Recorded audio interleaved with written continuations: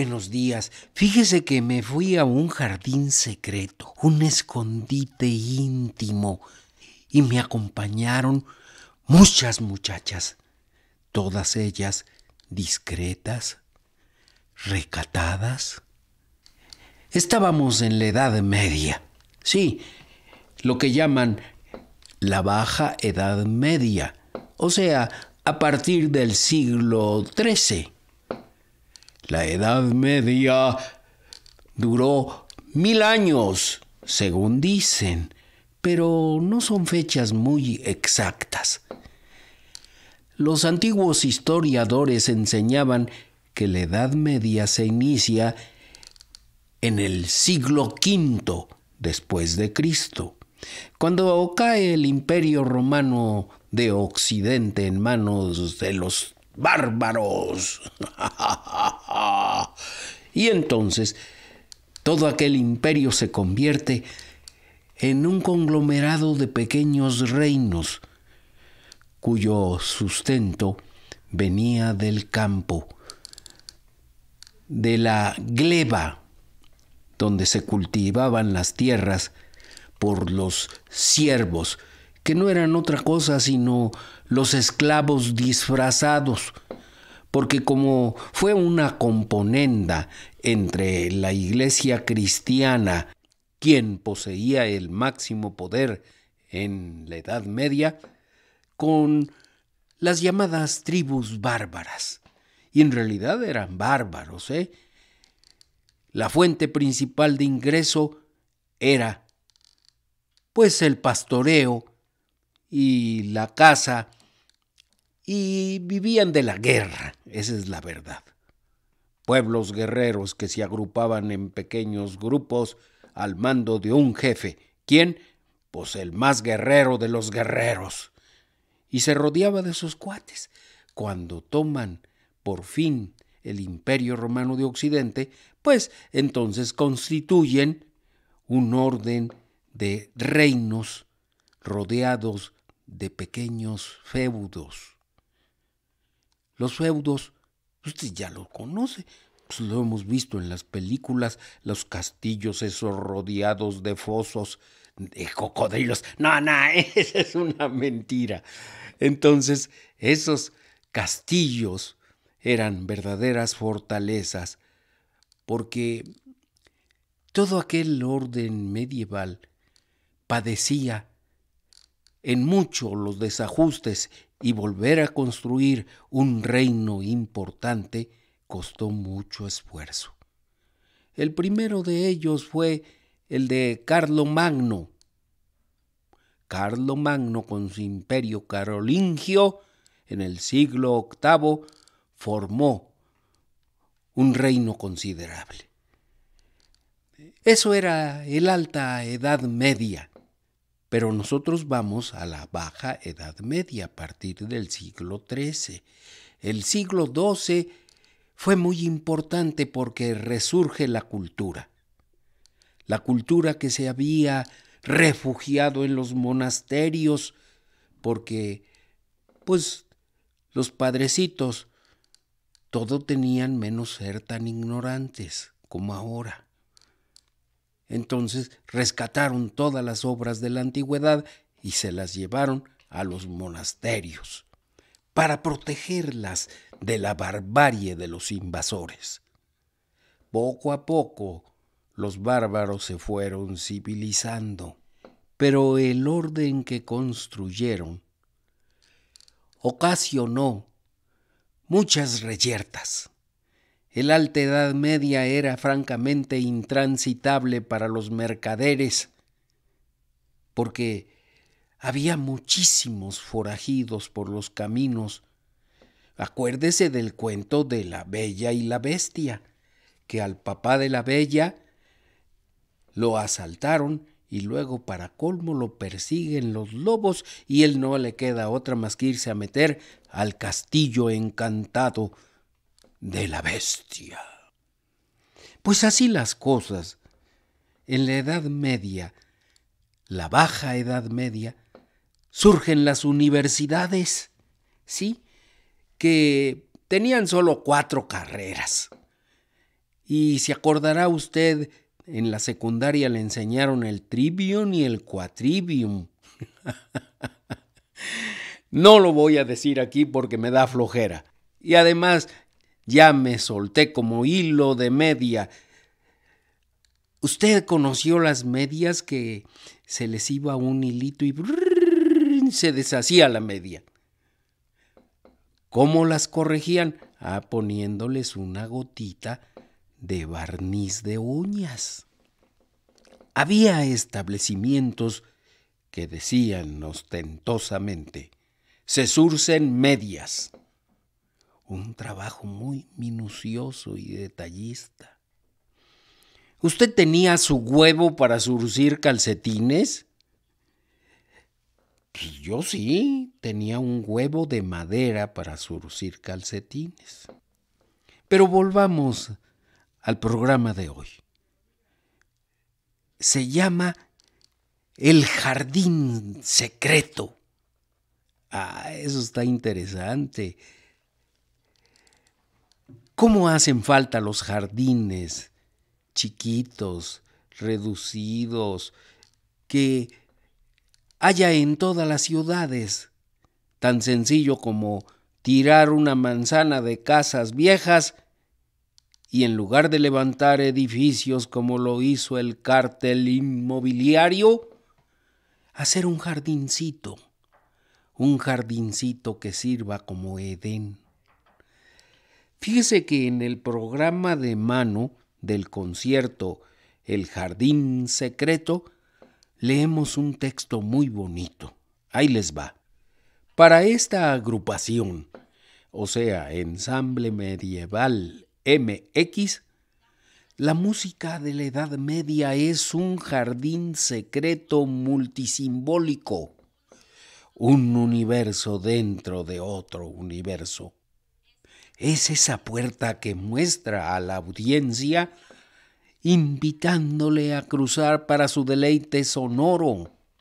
A lo largo de la historia, los jardines han estado cargados de simbolismo son pequeños edenes aquí en la tierra.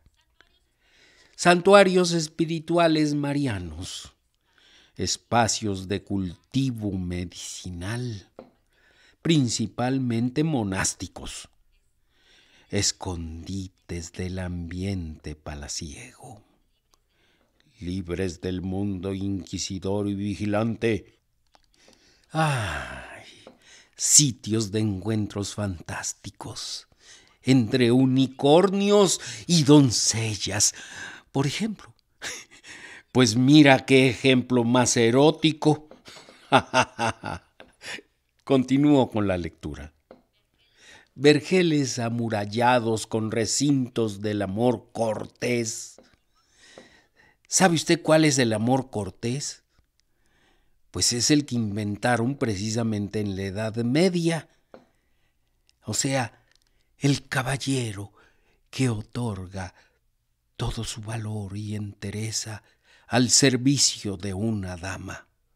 No importa si esa dama tiene su esposo legítimo, por ejemplo, la señora duquesa tiene al duque, pero alguno de los guerreros que rodean la corte, se enamora platónicamente de ella y entonces le otorga todo a su servicio. Claro que el duque llega a saberlo o lo sospecha, pero era un principio, digamos, una licencia de cornudez que se dio en aquel tiempo. Claro que después se supo que tales amores no eran tan platónicos como se disfrazaban y que había citas escondidas, por ejemplo, en un jardín secreto de palacio. Pero vuelvo al boletín informativo que tengo en la mano. Y dice, por supuesto, han sido refugios apacibles para la reflexión estos jardines, como los laberintos.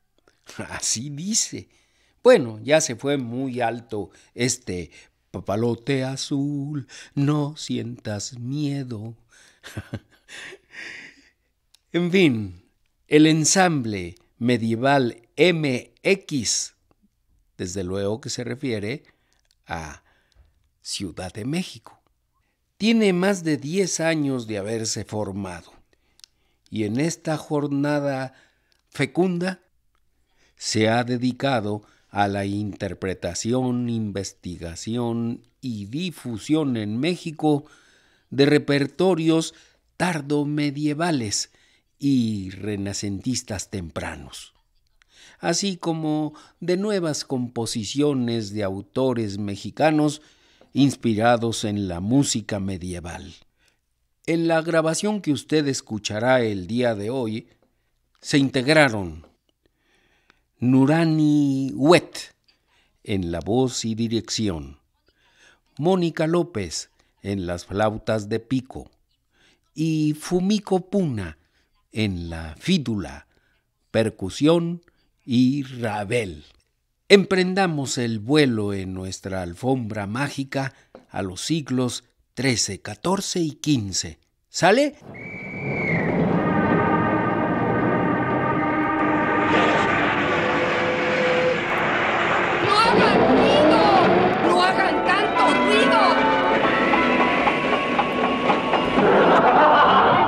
Ruido.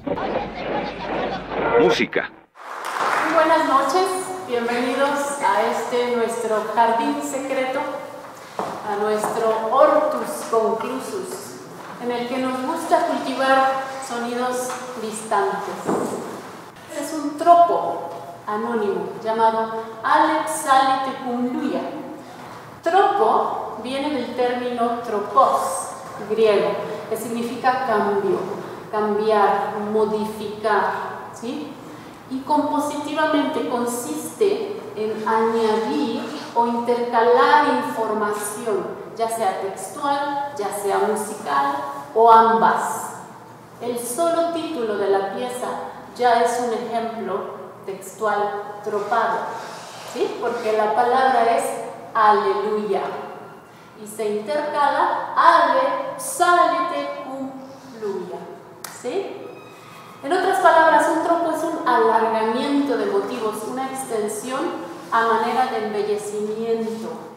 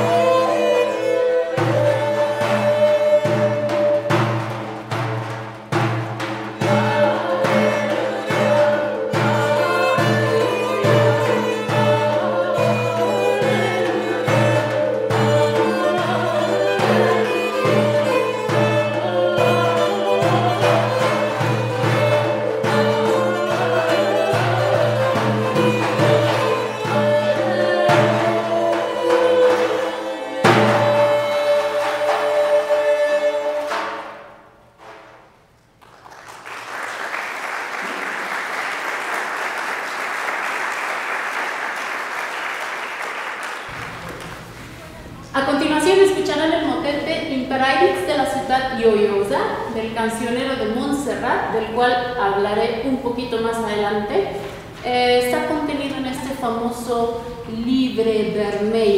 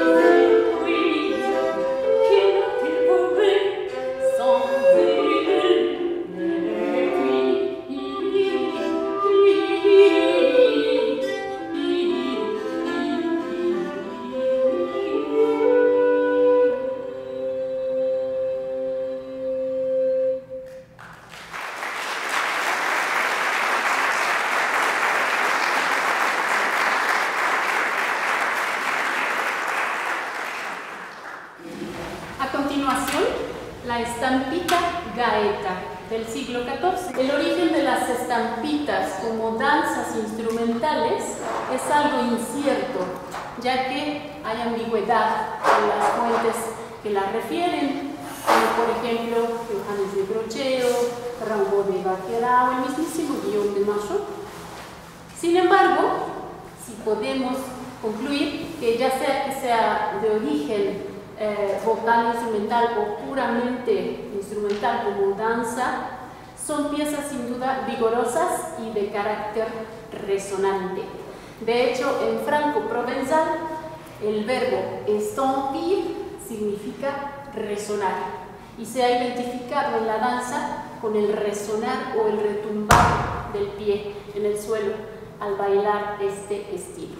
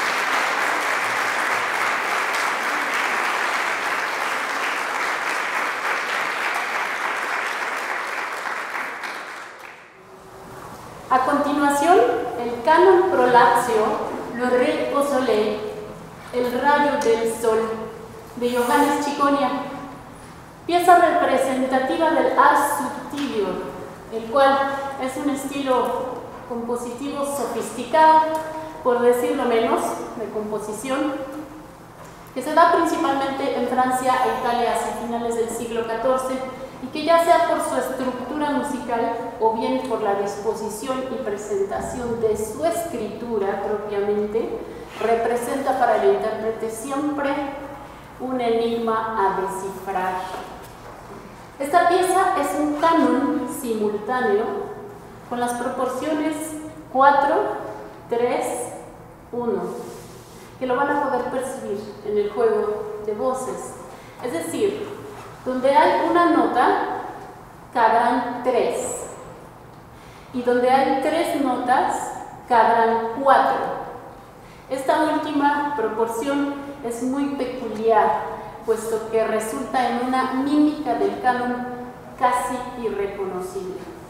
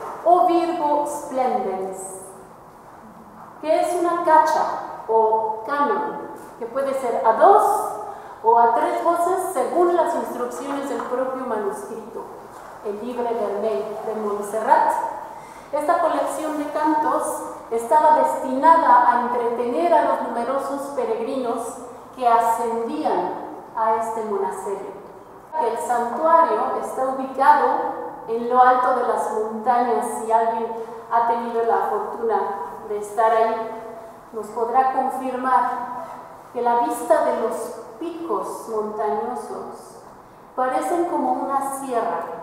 De ahí, monte cerrado. En catalán, Montserrat. Esta pieza es una antífona a la Virgen María de Montserrat.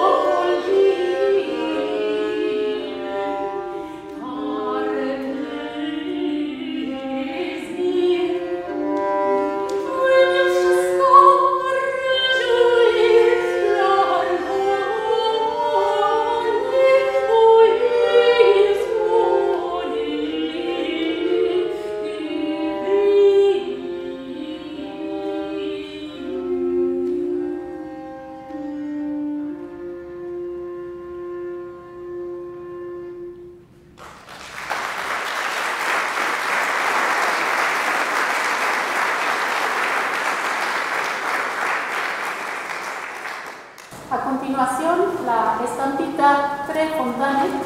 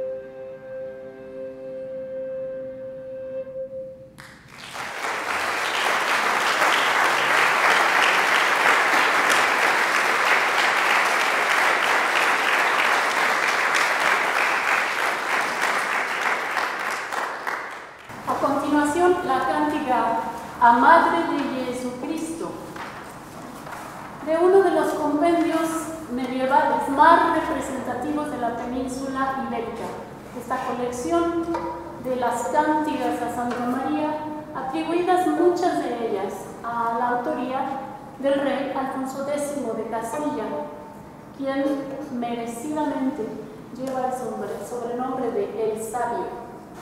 Uno de los géneros eh, son las cánticas de milagro, ¿sí? que justamente describen los milagros de la Virgen. A continuación escucharán solo un fragmento de la cántica de milagro 302, que relata cómo María de Montserrat hace el milagro de que un ladrón se arrepienta de su actuar y acepte públicamente la vergüenza de sus robos.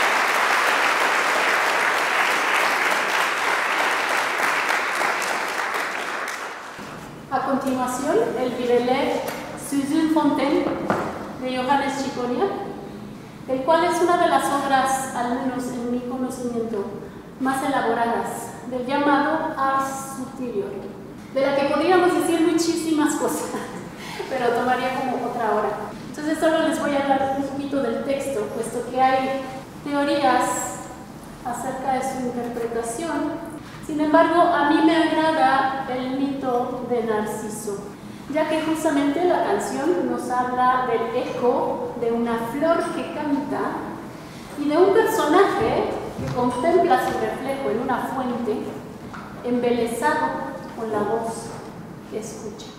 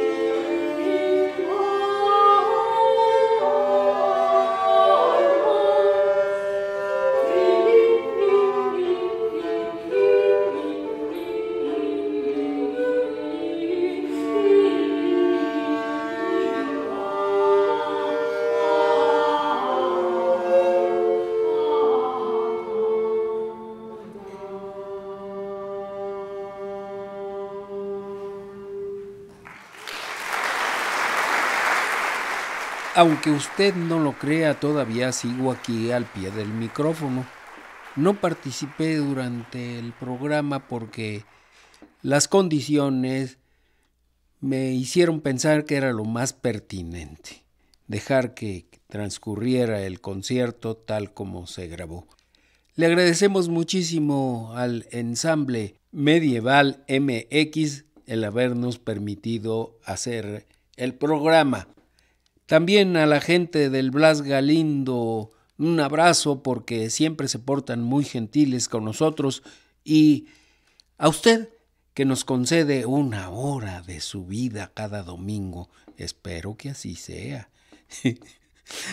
no hagan ruido, es una producción de Radio Educación que semana a semana lleva musiquita a sus orejas, realizado en esta oportunidad gracias al esfuerzo de mis compañeros Antonio Fernández, Rodrigo Cepeda, Estrella Coral, iniciando el servicio social Natsuko Paula y yo, Edmundo Cepeda, que nunca dejaré de lamentar el cómo la estructura de la Edad Media la trasladaron para reprimir y despojar, sobre todo explotar a los grupos originarios de nuestra tierra, México.